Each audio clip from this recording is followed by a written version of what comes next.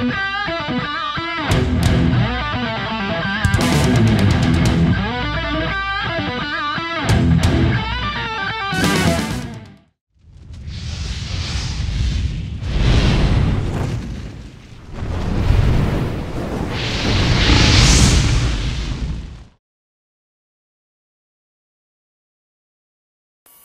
bago ka pa lang sa channel, huwag mong kalimutan na mag-subscribe at i-like ang video na ito.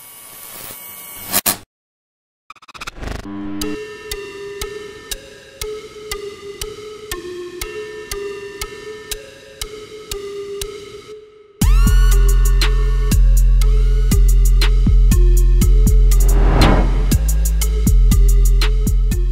nga ng MP promotion sa ating IBF Super Flyweight Champion na si Jerwin Ancajes ay makalaban ngayong taon itong WBO Champion ng Japan na si Kazuto Ioka. Matatandaan natin na naging 4 Division Champion ng Japanese fighter nang talunin niya ang Filipino fighter na si Aston Pilicta sa pamamagitan ng 10th round technical knockout noong July 19, 2019.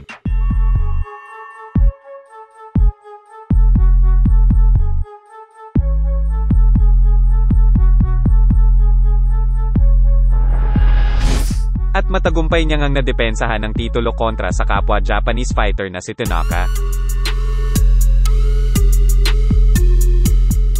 Maraming ang option itong si Ioka kung sino ang susunod niyang makakalaban tulad ng gusto niya umanong maging 5 division champion sa paglaban niya kay Naoya Inoue. Ngunit sinabi niya na bago siya umano umakyat ng division ay gusto niyang maging unified champion sa super flyweight division.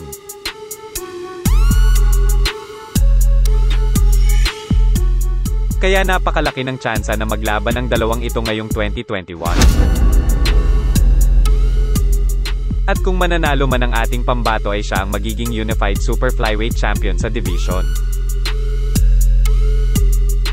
At sa pagkakataong ito ay maghihintay na lang siya kung sino ang mananalo sa laban ng Gonzales vs Estrada 2. Isang unification fight din ito na kung saan nakataya ang WBC at WBA Super Flyweight belt.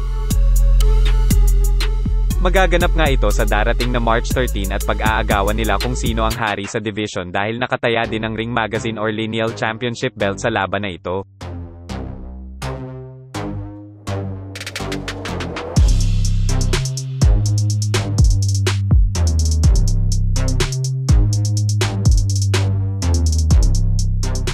At kung sino mang manalo mga kaibigan ay maghaharap sa Undisputed Championship sa Super Flyweight Division.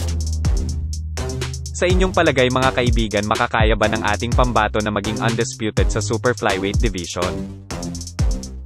Please comment down below para mabasa ko ang inyong mga opinion.